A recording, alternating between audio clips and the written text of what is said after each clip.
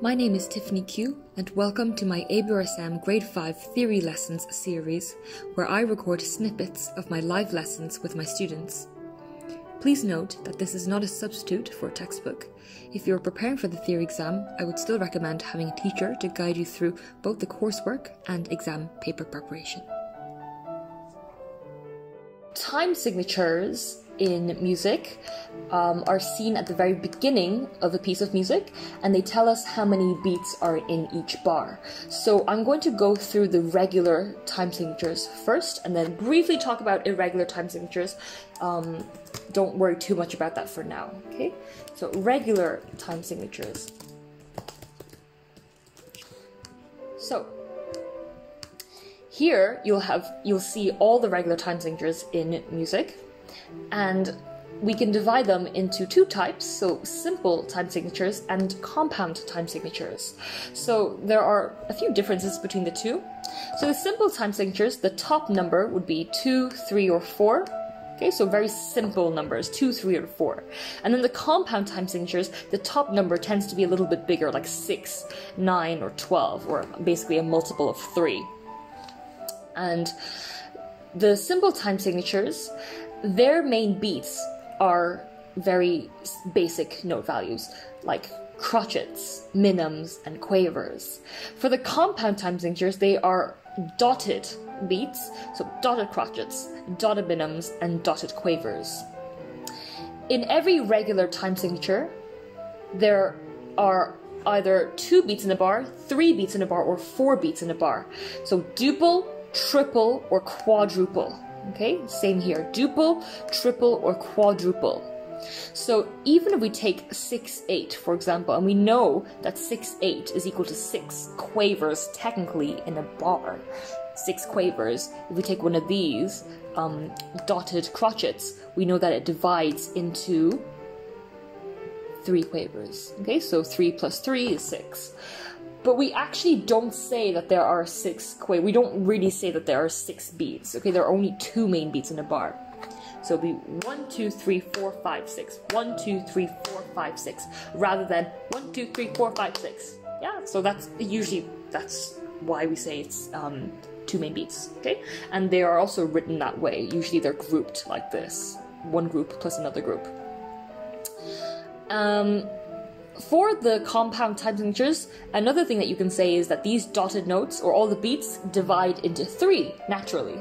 So that dotted crotchet divides into three quavers, the dotted minim divides into three crotchets, and the dotted quaver divides into three semi-quavers. Okay, so if you study them, you'll see that there's a real pattern going on. The number 6 will mean 2 beats in a bar, number 9 means 3 beats in a bar, and the number 12 would mean 4 beats in a bar. Um, and then for the simple time, it's really easy, like two, three, or four beats in a bar. So if we have four, two, it means there are four minims in a bar.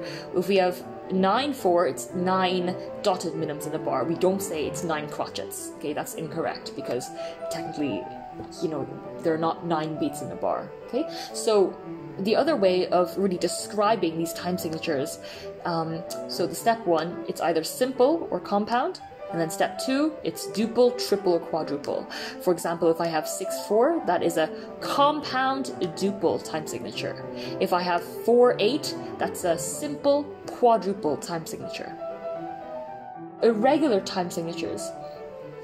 They happen when we cannot divide the bars into equal groups of two or three beats generally there's not a lot of rules in how they are grouped and we'll talk about grouping in more detail later on. But for grade 5 generally the irregular time signatures are 5 8 5 4 and then 7 8 and 7 4 okay? So there's not really like a specific grouping for them. So like 5 quavers or 5 crotchets in a bar 7 quavers 7 crotchets in a bar so although there are not specific rules for them, we have to make them make sense in the best way possible. So if we take a look at these two examples, which are actually the same rhythms but written in different ways, we'll see that this here is equal to a dotted crotchet. So the 5-8 kind of, you know, it kind of resembles 6-8 or, you know, 4-8 as closest ones. So you can see that it makes sense, sort of 3 plus 2, or 2 quavers plus three quavers, whereas this one's a little bit odd. yeah, sticking the four quavers together in one group and having just one on its own lonely, or kind of dividing to like this. Okay, we'll worry about that a bit more next week. Simple and compound, two of these.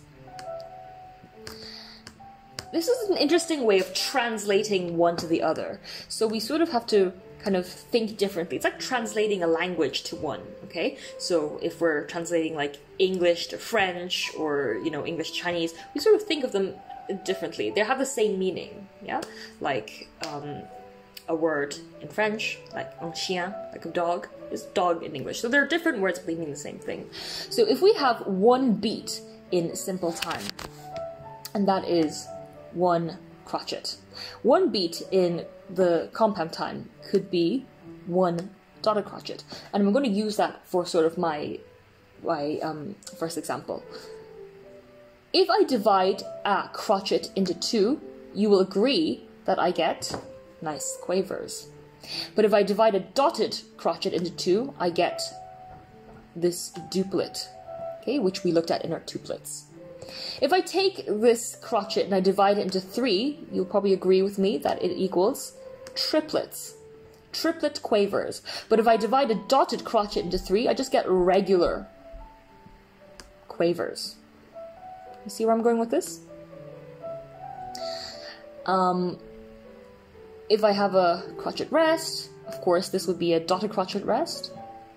Um, I can have this triplet but I have so this whole thing is equal to um, a crotchet here and for here I would just have the same thing without the number 3 on top. Um, if I have a crotchet here and a quaver, but I want that all in a triplet, then it would be the same thing here without the number 3 again.